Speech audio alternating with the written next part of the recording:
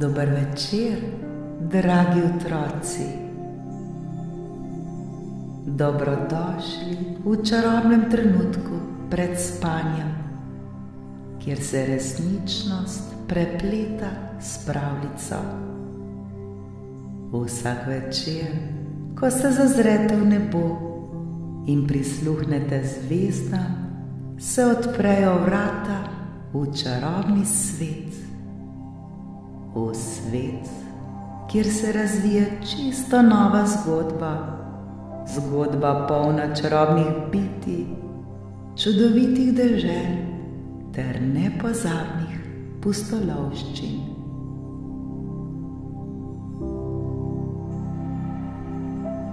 Udobno se namestite, saj je čas za nepozabno potovanje med zvezde.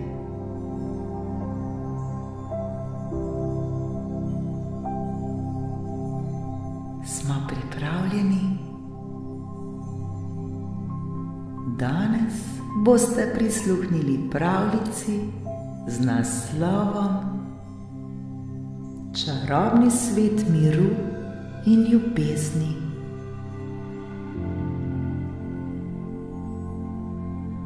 Pozdravljeni, dragi otroci, v čudovitem svetu, kjer je čas za počitek in sprostitev.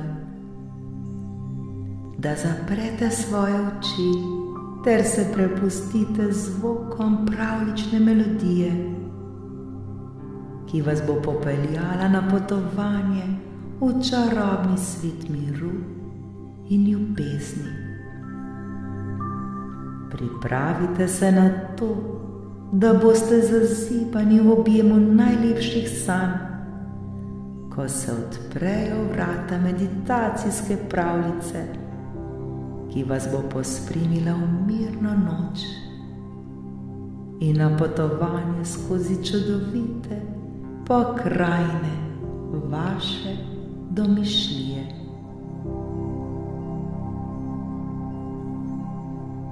Zdaj pa globoko vdihnite in počasi izdihnite vdihnite ter odprite svoje srce in bodite pozorni na to, kar prihaja.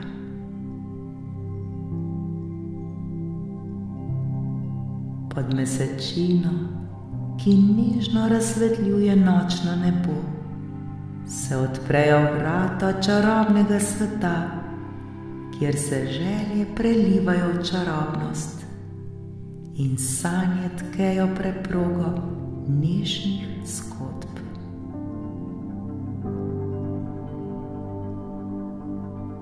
Nekoč, dolgo je že tega, v deželi, ki je bila skrita v mehkobi oblakov, je živela majhna deklica po imenu Mija.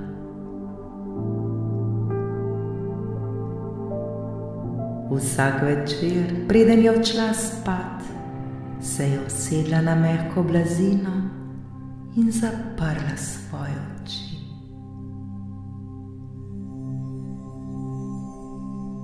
Ko je globoko vdihnila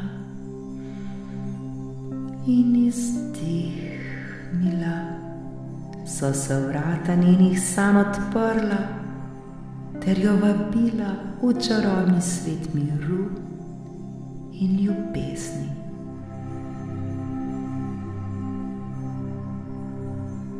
Mija je zaprla oči in se znašla na robu čarobnega gozda, kjer so drevesa nežno šepetala pravljice vetru. Sonce je počasi zahajalo za hribi barvajoč nebo v čudovite odtenke rožnatega in oranžnega. Bilo je tako lepo in čudovito nebo.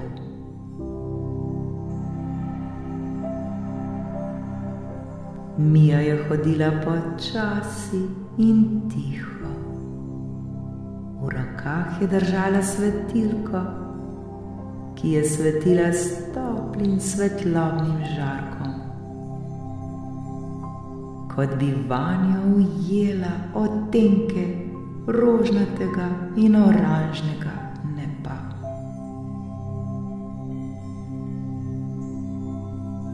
Stopila je na mehko pot, prepleteno s cvetjem, ki je oddajalo nežen von po silki.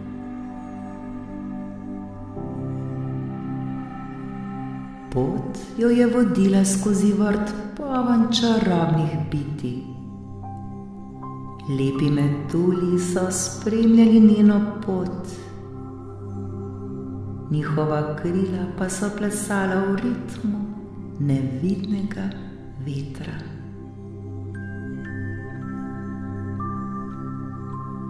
Mija se je vsakemu nasmehnila in nadaljevala pot do sijajnega jezera, kjer so se bleščeče ribice igrale v sijoči vodi.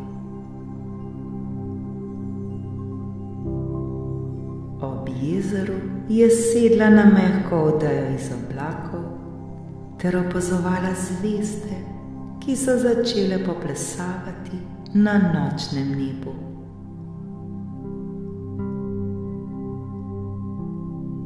Medtem, ko je gledala v zvezde, je začutila nežen dotik vetra na svojem obrazu. Veter je nosil von sveže pečenih piškotov in krofov, ki so bili pripravljeni za pravlični piknik. Zaslišala je mehko petje sončnih ptic sov, ki so varovali noč.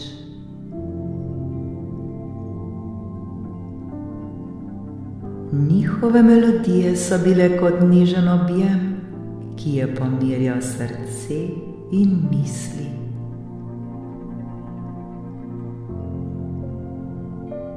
Mija si je natočila skodelico čarobnega čaja, ki je imel von po vaniliji in cimetu, ter ga počasi spila.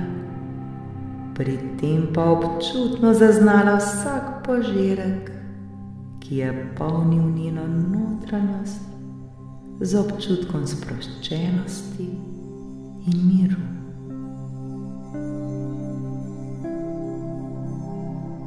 Bila je že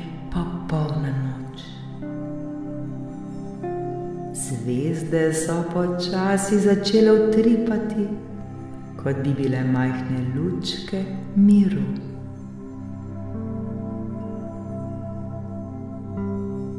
Mija se je počutila lahko, napolnjeno z ljubeznijo in spokojnostjo.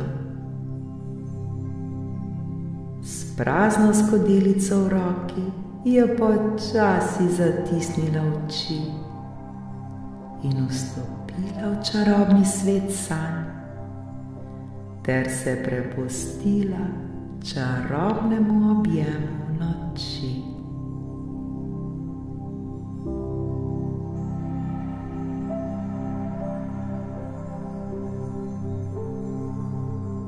In tako v mehkobi oblakov je deklica Mija vsak večer potovala v svoj čarobni svet, svet miru in ljubezni, ki jo je zazibal v sladke sanje vse do naslednjega dne.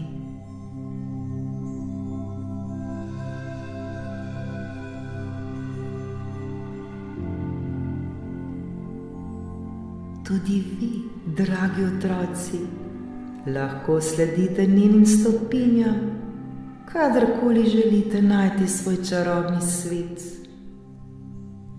Čarobni svet miru in ljubezni, ki vas bo zazibal v mehke in sladke sanje.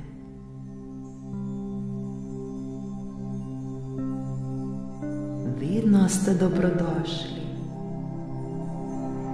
le zaprite svoje oči ter se prepustite tem čudovitim občutkom. Sledite stopinjam, ki vas bodo pripeljali v čarobni svet. Svet, ki je poln miru in ljubezni.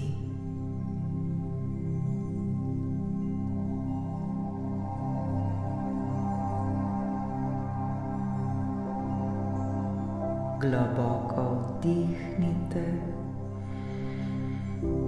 in izdihnite.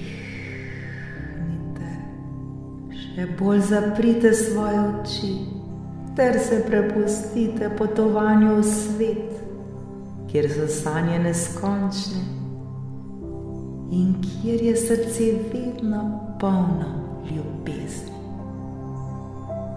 V svet kjer ste vedno varni. Lahko noč, dragi.